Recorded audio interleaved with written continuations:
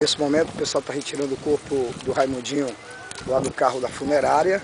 Né? O Raimundinho, a gente relembrar aqui, está né, tá sendo sepultado agora a trigésima vítima de homicídio na cidade de Pacajus somente neste ano de 2009. Nesse momento, né, os amigos e familiares estão aqui para prestarem a sua última homenagem ao Raimundinho do seu Tuxinha, como era conhecido. Tinha 42 anos, era uma pessoa muito popular em Pacajus e pelo que vocês podem ver aqui pelas imagens, a presença de vários amigos, né, e todos revoltados e pedindo né, que justiça seja feita também neste crime, que não fique como os demais que aconteceram em Pacajus, né, esse crime foi praticado por um adolescente, um menor de 17 anos, né, que estava é, dentro da residência do Raimundinho e o atingiu com mais de 50 facadas.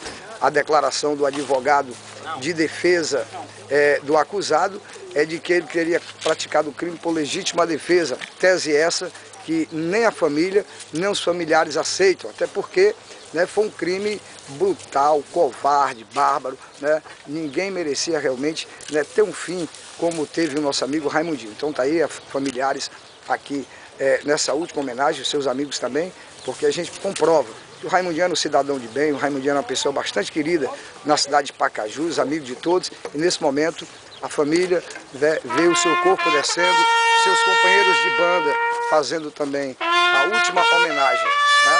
E é um crime que revoltou e revolta a toda a cidade de Pacaju. Esperar que não haja impunidade.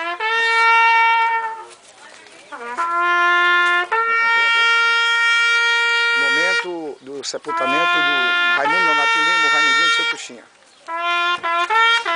Familiares e amigos prestando sua última homenagem.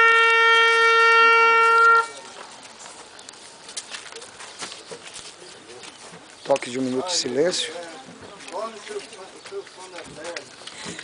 nós vamos ficar chorando por você e fazendo o trabalho que você fez.